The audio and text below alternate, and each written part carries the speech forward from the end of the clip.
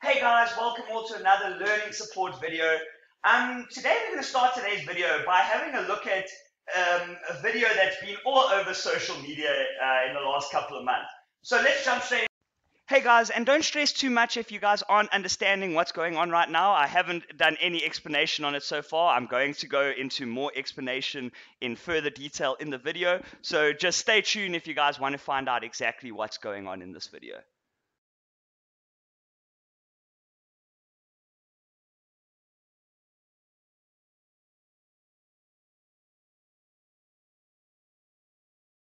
Hey guys, so what you guys are seeing in this video is what is called the Chinese stick method for multiplication. And although it seems wildly complicated, it's actually really, really simple. So how does it work? So let's first start with one digit numbers, as it's a very, very simple method for the one digit numbers. So let's look at the example 5 times 3. So step one is to take the first number and draw the same number of diagonal lines denoted by the number. So you see here, I drew five diagonal lines from left to right. Okay. Step two, we do the same with the second number, except in the opposite direction. So you see now I took the three lines and I put them in the opposite direction. So from right to left instead. Next, we count all these intersections. And if you go count them, you'll find that the answer is 5 of 4, 5 times 3 is equal to 15. But you guys would have probably been able to get that anyway. So what about two-digit numbers then? So like uh, example like 14 times 32. This is a bit more complicated and you guys might struggle to do it straight off the top of your head. So let's go look how the Chinese method actually helps us do these type of problems. So step one is to take the 10 from the first number, so from 14 to take the 10, and to draw the lines denoted by that number diagonally. So because it's a 10, it's only one 10, you draw one diagonal line from left to right. Then next, we leave a little bit of space, and then we draw the four diagonal lines denoted by the units, guys. Then step three, we have to do the same for the other side, guys. So then we take the three because the 10 is 30. So then we draw three lines for the 10. Then we leave a little space and we draw two lines for the two. Okay, so then once we've done this, now the next thing we do is that we have to draw lines separating the groups of intersections.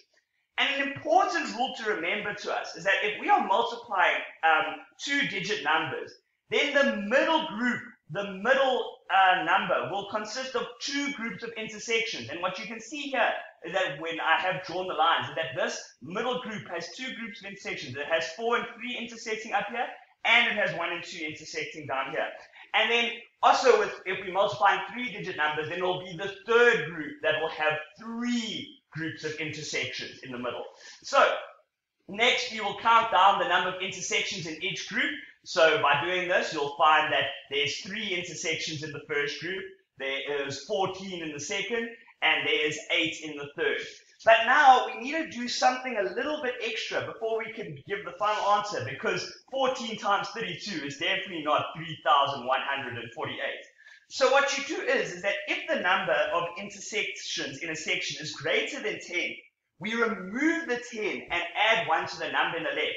So let's first look at the 8. Okay, so the 8 doesn't have a 10, so we can take it straight down. So we move it down there we have here in the second group, we have 14. So 14 has a 10 at the back, and because it's only one 10, okay, you move the 4 down, and you add the 1 to the 3. So now because it's 3 plus 1, it, you get 4 down there, so then the final answer will therefore equal 448.